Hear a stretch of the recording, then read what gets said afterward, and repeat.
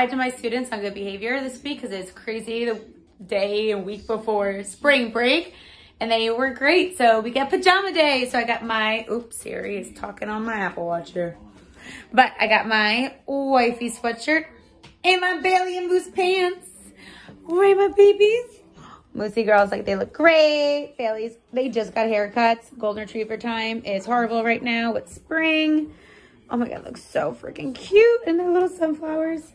But we are gonna go. We are survival, survival weeks. I'm so excited. Getting a Epsom bath today at Float 41 in West Hartford. Um, and we finished cardio. We finished my lift. And I finally got a freaking great pump. Great pump. Yesterday we had 190 carbs and it went straight to the glutes. Straight to the freaking glutes. Um, where after I checked in with coach this morning, I just had another text. I'm like, just had a workout. My glutes look great. So we are about to survive teaching time. No, that's the one thing they don't talk about. They do not talk about how I feel like a lot of bodybuilders are like personal trainers, coaches, things like that in the industry. Shout out to all the people who are bodybuilders that have normal, regular jobs. It is freaking tough teaching little first graders, America's youth, when you are hangry, deprived, depleted, exhausted, and have to put a smile on your face and fake it till you make it. But we it, made it, we made it. What is up, YouTube? We survived work today. We survived. So now I literally do not go back to work until like, I don't know, like April 12th or something. I got like 10 days. So your girl just came home, let the pups out, and now I am headed to my Float 41 session. Um, it's an hour and a half. Last time I did an hour and a half and I could not sit still that long. So I'm probably gonna only be there for an hour, but I'm ready to relax. I need to learn to turn my brain off um, and really just take in the R&R time. Um, but I'm really excited. So if you've never been to one of these salt pods, basically, um, so the one I went in last time was like a two person person one and I'm literally five foot so tiny. And so it was like, you open the door, you go in. I haven't done like the pod one yet where you open a pod and sit in it. I'm kind of claustrophobic, so I don't know if, if I have that again, if I'm going to do well with it. So we shall see. But you turn the lights, you can have like lights, like kind of colorful lights or completely dark. Um, and then they have like silence or they have like medium sized music and then like or like lower music of like classical relaxation like massage music but they say like the people that go there religiously they sit in the dark and they have music off and they feel like they're just you're just floating because it's like this much water but you're floating on top of it because um, it's literally so much salt um so yeah so about to go do that then coming home shaving time, my whole entire body. If you're unaware of bodybuilding, you literally have to shave every nook and cranny, armpit, arm hair, back hair, chest hair. You know, because I got a lot of chest hair here. Um, but everything has to go so that your tan is ready to go. Um, and so tanning's tomorrow. So here we go.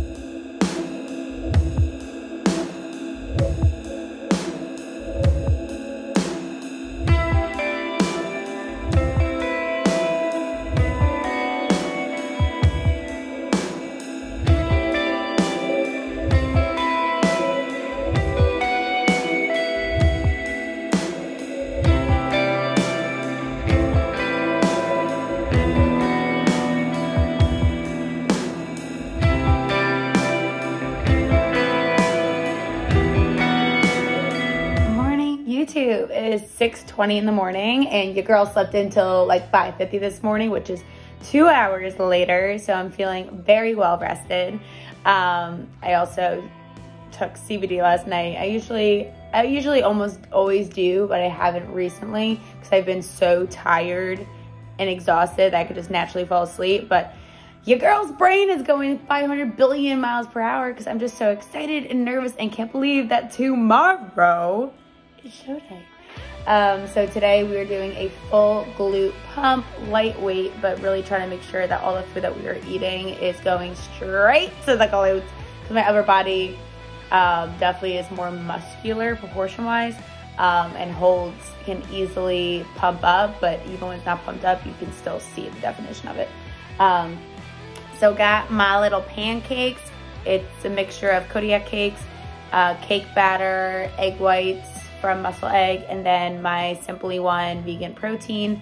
Uh, and of course, peanut butter on top. I love putting peanut butter on when the pancakes are freaking hot because then it melts. So getting my coffee in, getting my burn in, and then we are gonna go hit a glute workout. But today I did drop another new low. Uh, so 102.3, even after two high 190 carb days.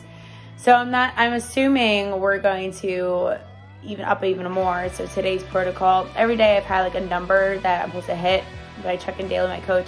Today it's been like a range because the day before show, like you didn't want to give me a specific number. So just sent it to him, about to go to the gym. Hopefully I get it soon because I do need to head to New Jersey at like 10 a.m.-ish I need to leave. So I want to make sure I pack enough food and stuff with me too. So today is going to be an adventure.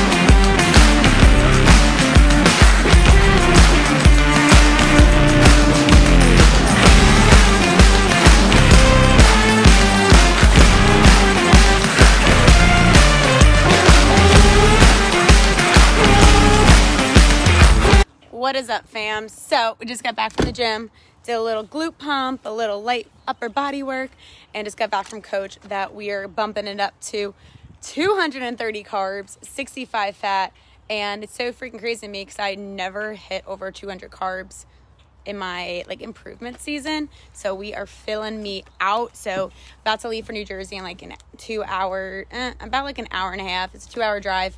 Um, but we want to make sure that we are prepared and bringing enough food with me. Um, so I'm not stressed about it. Nick's meeting me later tonight. So if anything, he can always bring me some extra stuff or I can run to a grocery store nearby or something like that because I definitely will have some time to kill. Um, but we gotta go prep, we gotta go plan, we gotta go make sure we have enough thing. Go about to eat a big old bowl of chicken, rice, and peanut butter because you know it's my fucking favorite. Um, but I was screaming all week and I'm so excited. I'm like beyond excited. I'm excited to eat. excited to eat some dang food. So I've been hiding my post-show treats. So the one thing about my post-show treats in my second basement, you can't even see it, is that they are protein based. So I got a cinnamon bun, I got this like s'mores cookie thing. These are from the company Good Eats, I believe. S'mores. And I got this s'mores cookie, not the beer. Um, so I'm excited. So I'm gonna bring like three of them with me so I'm not overdoing it. Um, yeah, but I've been hiding these and I wanted to still stay on track because again, if I get first or second, get nationally qualified, I will be competing in nationals in about already like five weeks or four weeks. So I wanted to make sure that we are staying on track still. So what they don't tell you is how much crap you need for show day. So I have a big suitcase full of stuff. I have a little suitcase, which is like my show day suitcase. This has my suit, my weights. I bring like 10 pound weights to help pump because I'm someone that really needs to make sure I have a good pump. Um, I have cups to pee in. I have my jewelry. I have a towel for the floor. I have some Gatorade, some snacks, things like that. Already in my car, I have a huge lunchbox full of my rice and my chicken and my rice cakes and my pickles and more Gatorade. I then have a bag of other stuff in there too. Um, and show just a lot. In my big bag, and I might do a like open up the suitcase once I'm down in Jersey. I have sheets because you'll be tan and you'll ruin sheets and hotels will charge you. I have sheets. I have normal clothes. Um, I have workout clothes. I have pajamas. I have um, everything I need to get ready, like straightener and a curling iron. I have makeup. I have contacts. I'm also bringing me as a scale. Oh my God, thank God I said that because I almost forgot my food scale. that was so bad. I'm bringing my actual scale, so I can scale how much I weigh tonight and tomorrow morning. And I'm bringing a ring light so I can do good check-in photos. It's just a lot. It is absolutely a lot for someone that is literally today's Friday and I come back Sunday.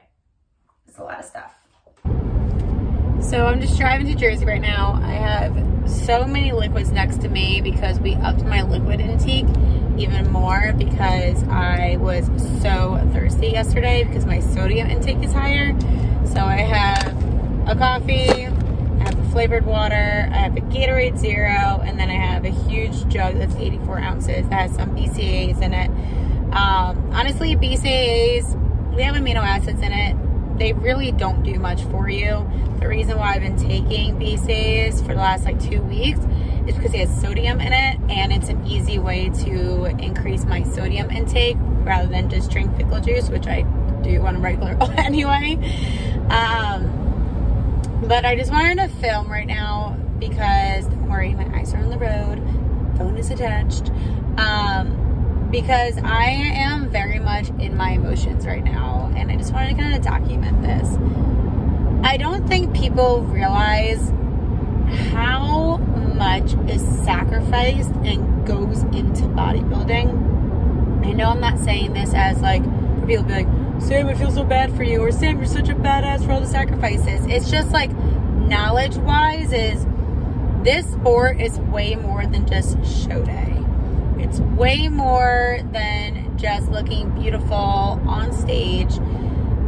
It's something that's way more than just the 24 weeks of prep that I did too.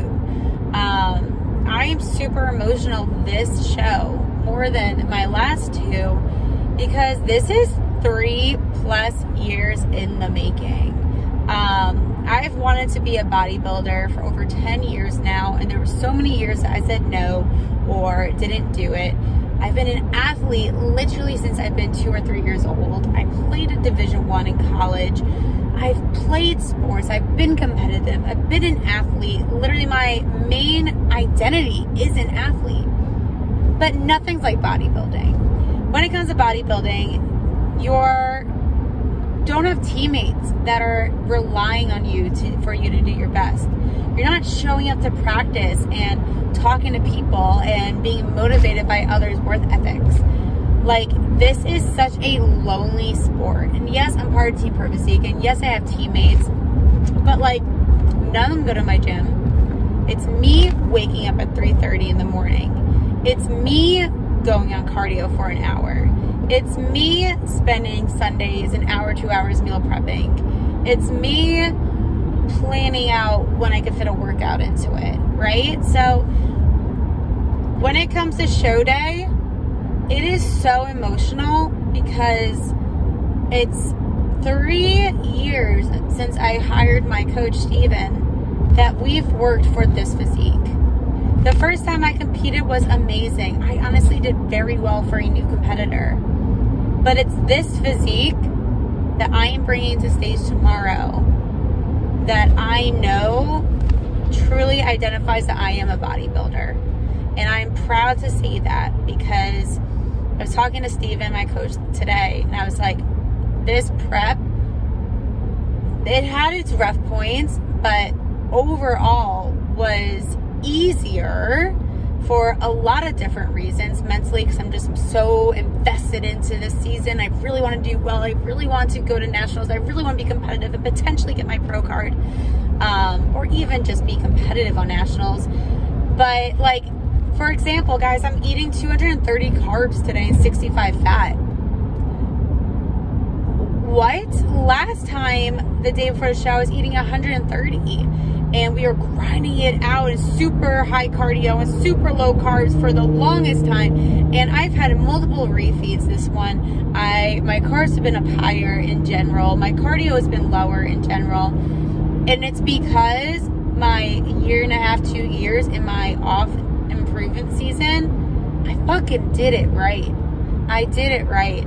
I had my coach the whole entire time. I did weekly check-ins my coach even in my improvement season i had my macros there. I worked hard. I lifted heavy. I built legitimate muscle. And my tip for anyone that is a bodybuilder or planning on bodybuilding is this isn't just you're not just a bodybuilder during prep.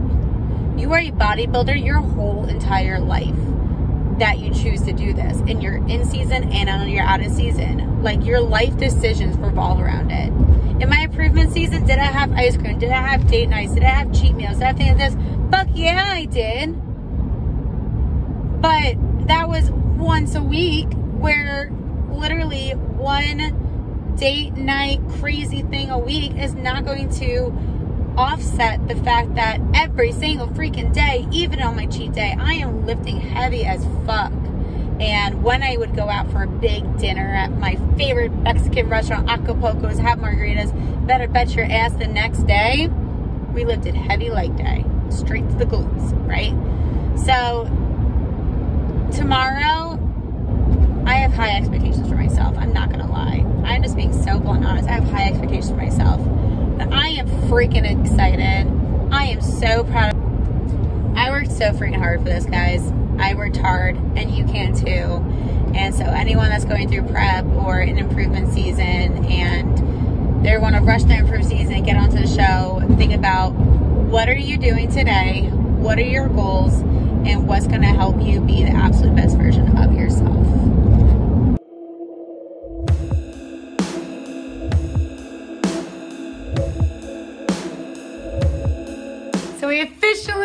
Got into the hotel. Literally, this is my hotel, and this is the venue. So I have a little crosswalk that all I have to freaking do, but this is like prime lighting for my check-ins that everyone's gonna be able to see my butt.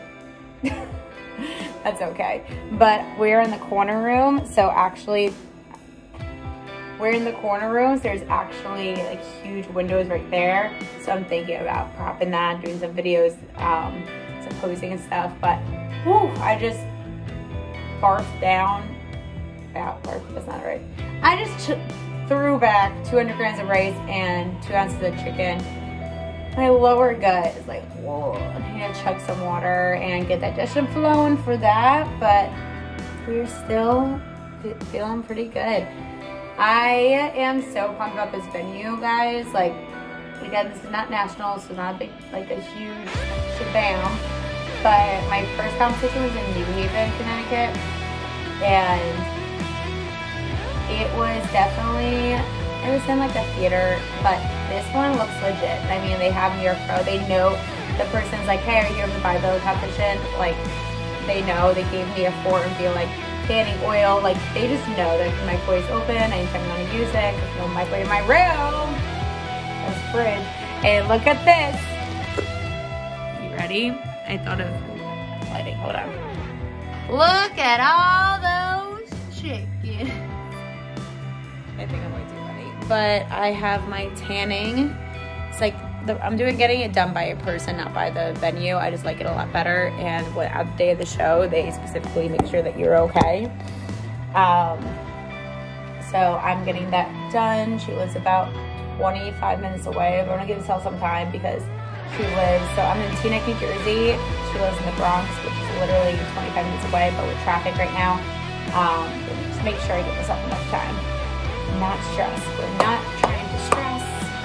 Um, I'm gonna charge my phone. And I'm going to lay out my sheets.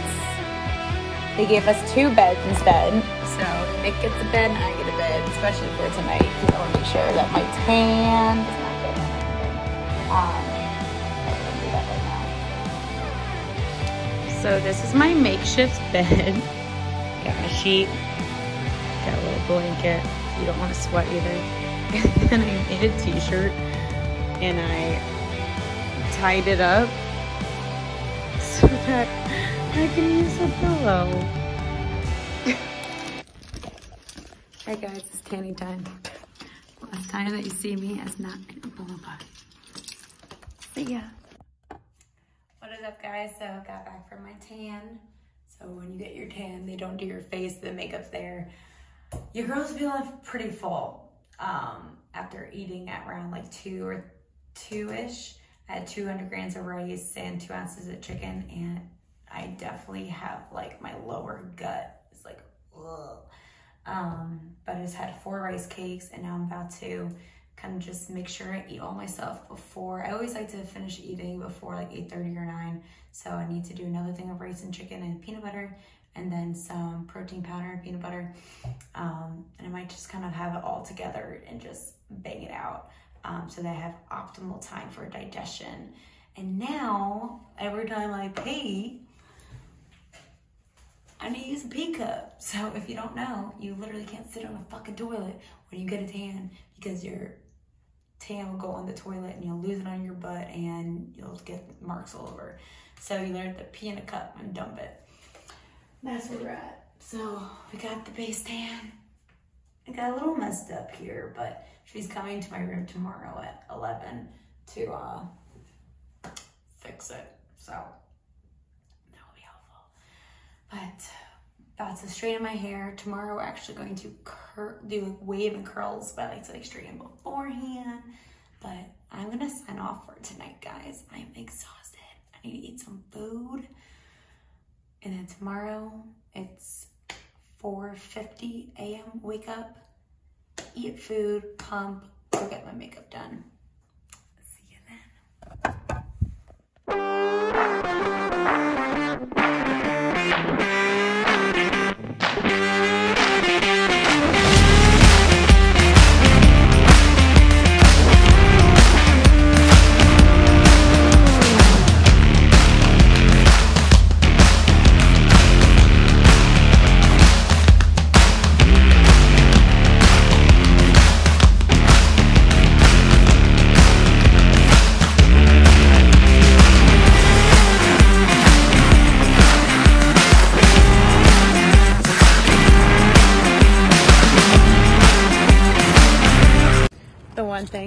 Freaking forgot is her winter coat.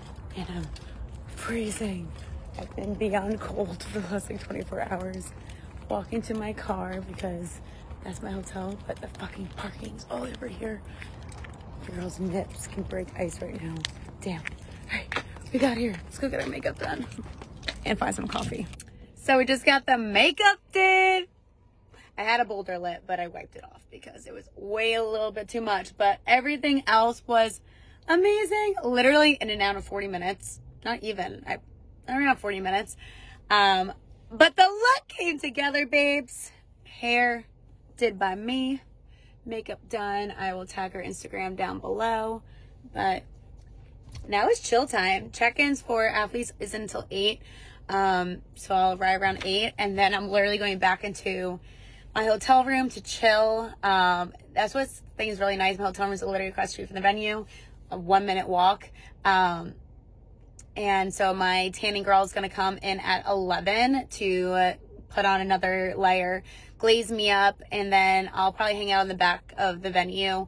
Um, just anxiety wise, I don't want to like wait. Like, let's say they do bikini early or something because it's a smaller show. Um, I just like to be where I need to be. Like, I showed to my makeup appointment 30 minutes early. Like, less stress, the better, babes. Um, but we are fucking here. We are here. We're ready to arrive. Your girl ate 230 carbs yesterday and it filled me out in all the right places and I'm feeling like a little lean bean. Um, so I'm gonna make sure to eat my food, drink my sodium and get after it. But we're here.